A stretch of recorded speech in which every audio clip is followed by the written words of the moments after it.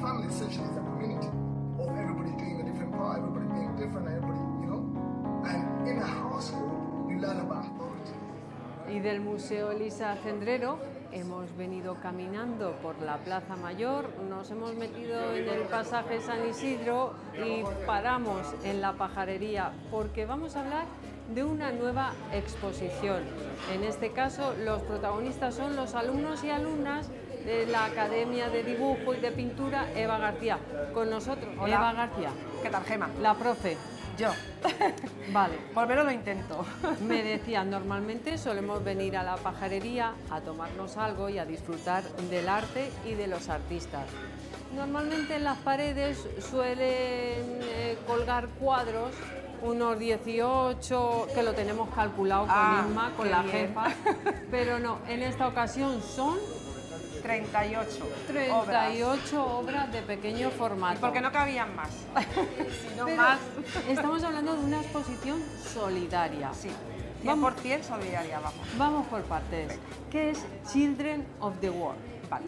Pues es una exposición en la cual los- las imágenes las elegí yo de unos seguidores que, de Instagram que me chiflan, que son fotógrafos de todo el mundo y hacen fotografías a niños. Y entonces, eh, durante estos años que llevo trabajando, dando clases, que es como más se aprende, pues he dado forma a una técnica en la cual eh, lleva un proceso de cuatro pasos y entonces me pareció una buena idea eh, enseñarles a mis alumnos esos procesos y plasmarlos en unas obras que en este caso son niños de todo el mundo, fotografías originales y que la mayoría de ellas están retocadas, es decir, se han eh, incluido elementos que no estaban en las fotografías.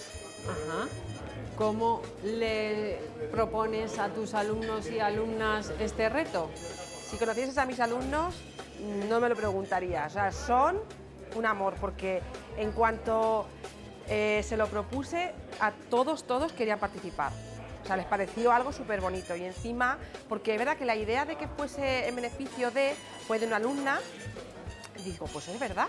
Digo, estaría fenomenal que además de exponer, lo que saquemos lo, lo demos a una, a una buena causa.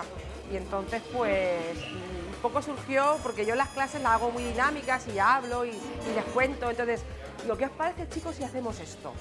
Y entonces les encantó la idea y empezamos en enero a- con las obras, que realmente la exposición era en octubre, noviembre, pero Inma nos llamó y nos dijo que si podía adelantarse, entonces a contrarreloj las hemos terminado y bueno, ya aquí está el resultado.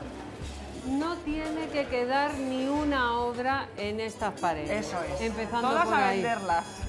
Todas llevan su nombre, el nombre del autor o de la autora y el precio correspondiente. Y todo lo que se recaude irá a parar a A París. ¿Por qué? Eh, ¿Cómo conectáis, cómo contactáis con, con esta asociación? Pues eh, bueno, mi cuñado, eh, su hermana es presidenta de la asociación de minusválidos de aquí de Ciudad Real y entonces todos los navidades pues le colaborábamos vendiendo, comprándole productos de, de dulce, de mazapanes, de bombones y sabíamos de su existencia. Pero como ya la conocía y sabía cómo trabajan, digo, pues qué mejor esa asociación que la conozco para poder colaborar. Entonces fue así un poco todo porque los conocía. No sabía que, cuál coger, pero mi cuñado, como su hermana está metida en esa asociación, pues me dijo que estaría muy interesante y así lo hicimos. O sea, no fue un poco... eh, fue poco por casualidad, por conocer a la persona que lo- la lleva, que la maneja. Vale, me decías que tus alumnos y alumnas son de diferentes edades. Eh, quienes eh, se pasen por la calle Pedrera, bueno, va bajando, va bajando, un poquito antes de llegar a la Guardia Civil. Eso es. Más o menos, Sí. a mano derecha, según baja. Se ve muy bien desde la calle. Vamos a ubicarlo. Venga. Están ahí tus alumnos. Sí, tengo ¿verdad? de 5 años a 80. Vale. Es verdad que ellos son los adultos, porque son trabajos muy difíciles, pero todas las edades, todos los niveles y a la demanda de lo que cada uno quiera. Estamos ahí que se nos ve fenomenal y un escaparate estupendo. ¿Qué técnicas habéis utilizado? Pues hemos empezado con técnica lápiz, eh, con sus sombras difuminados, como que para que el cuadro se pueda quedar perfectamente así. Luego hemos continuado con aguadas de color en acrílico, hemos usado el acrílico, una técnica al agua, con aguadas pues para ver un poco el color y no emplastar el, el lienzo, que siempre es lo que se hace, que cuando empiezas a colorear echas mucha pintura y al final lo emplastas y no se consigue la transparencia que, que debería tener. Y luego ya hemos empezado pues a difuminar, a insertar los colores. Y la característica principal es la técnica de la pincelada seca, como yo la llamo, que es marcar la pincelada sin difuminar, resaltando luces, sombras, Es una mezcla de cuatro cosas en una. ¿Por qué has elegido, Eva, este cuadro como portada de la exposición? Pues porque fue el cuadro máster, fue con el que yo les enseñé a hacer lo que, lo que han hecho ahora. ¿Sabes? Todas las fases, de, eh, de- principio hasta el final, estaban grabadas, yo las hacía en directo y entonces es el cuadro con el cual eh, los he enseñado a hacer la técnica. Ah, Luego he hecho, mucho- he hecho dos más. He hecho ese y he hecho el del lobo que está a la vuelta. Para cuanto más sea, más, más dinero sacamos. Pero este realmente es especial porque fue con lo que desarrollé la técnica.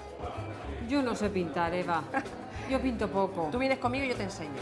Eso te iba a preguntar, que si hay diferentes niveles en tu academia. No, solamente di- divido los niños y adultos porque no son compatibles. No es compatible un niño de 7 años con un adulto de 20. Pero no tengo nivel, cada uno sois individual eh, y a demanda. O sea, y no hay nivel. Y además yo digo que cuando me lo preguntan mucho, es que yo no tengo ni idea de pintar, no pasa nada. Todo es aprender. Hay gente que nace con ese don, pero te puedo asegurar por la experiencia que me ha llevado y de la gente que he conocido como alumnos, todo el mundo puede pintar. Y luego el arte, pues depende cómo lo mires. Cada uno hace su arte.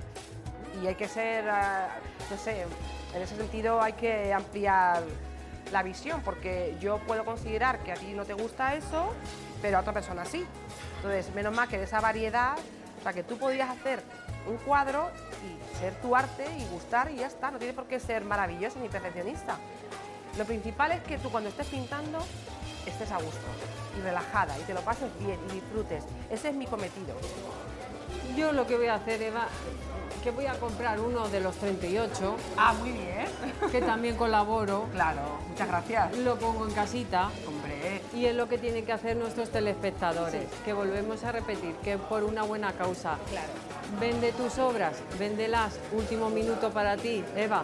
Pues yo, mira, con la ilusión que han puesto estos chicos en todo esto, porque de verdad hasta el último día a tope pintando y la ilusión y las ganas de, de- de hacer algo desinteresadamente, que hoy en día no estamos muy acostumbrados.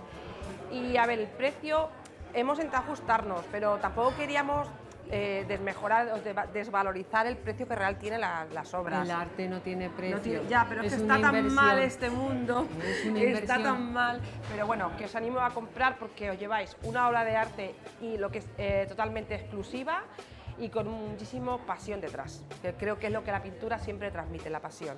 Les damos un mes para que se lo piensen. Un mes hasta el 30 de junio tenemos. Un mes que mientras que vienen ustedes, se toman una cervecita, Hombre. un vinito, una tapita. Y aquí mirando estas obras estupendas, Claro, se lo piensan, van echando ojo y luego compran por una buena causa. Sí, siempre por una buena causa. Además, es una asociación que sin ánimo de lucro, no recibe subvención ninguna y todo lo que hacen es eh, comprar material ortopédico para prestarlo a gente que no puede. O sea, qué mejor. Pues yo ya Así no que tengo venga. palabras, tengo muchas obras Muchas gracias. para ver y disfrutar. Pues a venir a ver lo que merece la pena. Eva García, muchas gracias. A ti, Gemma.